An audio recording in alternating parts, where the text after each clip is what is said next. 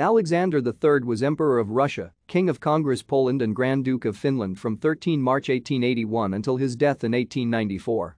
He was highly reactionary and reversed some of the liberal reforms of his father, Alexander II. This policy is known in Russia as counter-reforms. Under the influence of Konstantin Pobedonostsev, he opposed any reform that limited his autocratic rule. During his reign, Russia fought no major wars. He was therefore styled the peacemaker. It was he who helped forge the Russo-French alliance.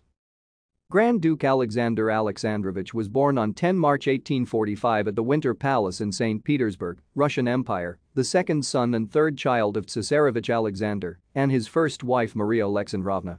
He was born during the reign of his grandfather Nicholas I. In disposition, Alexander bore little resemblance to his soft-hearted, liberal father, and still less to his refined, philosophic, sentimental, chivalrous, yet cunning great-uncle Emperor Alexander I. Thank you for watching. Like and subscribe if you would like to view more of our videos. Have a nice day.